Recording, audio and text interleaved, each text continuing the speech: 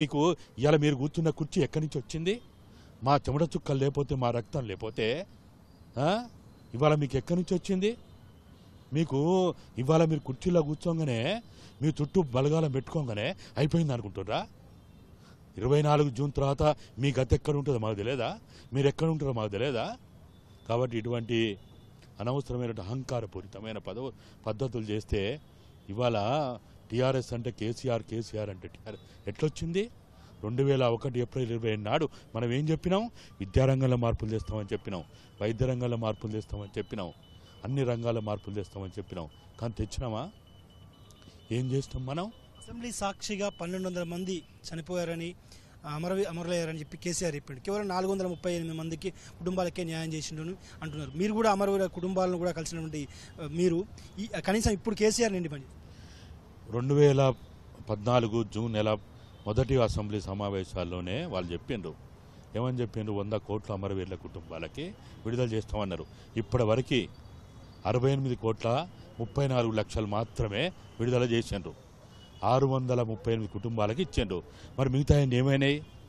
మిగతా ఆయన ఏమైనాయి? ఎందుకు ఇస్తలేరు? అంటే మీకు వాళ్ళ అడ్రస్లు దొరుకుతలేవా?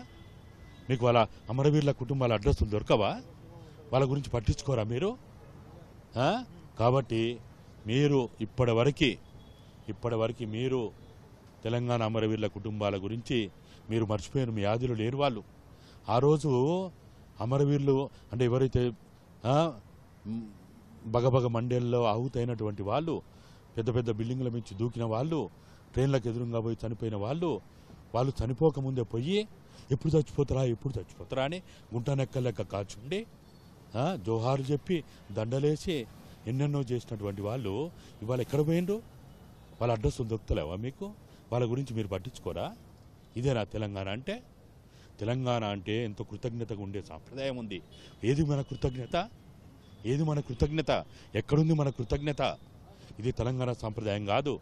ఒడ్డు చేరేదాకా ఓడమల్లన్న ఒడ్డు చేరిన తర్వాత బోడమల్లన్న అన్నట్టు ఇట్లా ఉంటే తెలంగాణ ప్రజలు తెల ఇటువంటి వాళ్ళకు భూస్థాపితం చేస్తారు.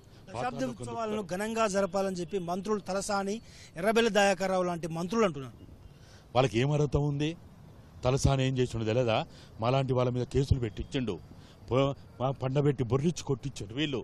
దయాకర్ రావు ఏం చేసిండు తెలియదా ఆయన ఎవరు? పట్నం మహేందర్ రెడ్డి తాండూరులో వికారాబాద్లో ఏం చేసిండు తెలియదా ఒక్కరా పేరు చెప్పుకుంటా పోతే ఇవాళ మంత్రివర్గంలో ఉన్న వాళ్ళలో ఎవరికైనా ఉండే అర్హత ఉందా?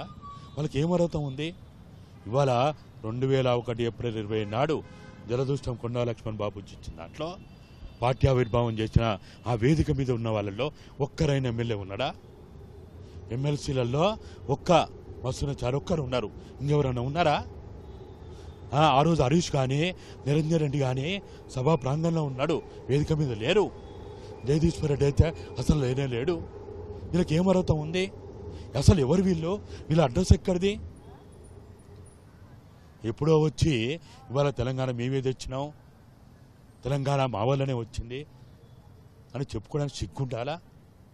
కనీసం మనం ఒక అమ్మ అయ్యకు పుట్టినామంటే కొన్ని విలువలతో ఉండాలి మనం. ఏం విలువలు ఉన్నాయి వీళ్ళకి? సరే మీరు మీరు ఆడంబరాలు చేసుకోండి పండగలు చేసుకోండి. ఆడంబరాలు పండుగలు ఎప్పుడు? మనము ఓ సమ్మక్క జాతర చేస్తాం ఐలవనివ చేస్తాం కుమ్రవేలి జాతర చేస్తాం కొండపోచమ్మ జాతర ఎన్నెన్నో కొండగట్టు జాతర చేస్తాం. జాతరలు ఎందుకు చేస్తాం? వాళ్ళ స్మరించుకోవడం చేస్తాం. మరి ఏది స్మరణ?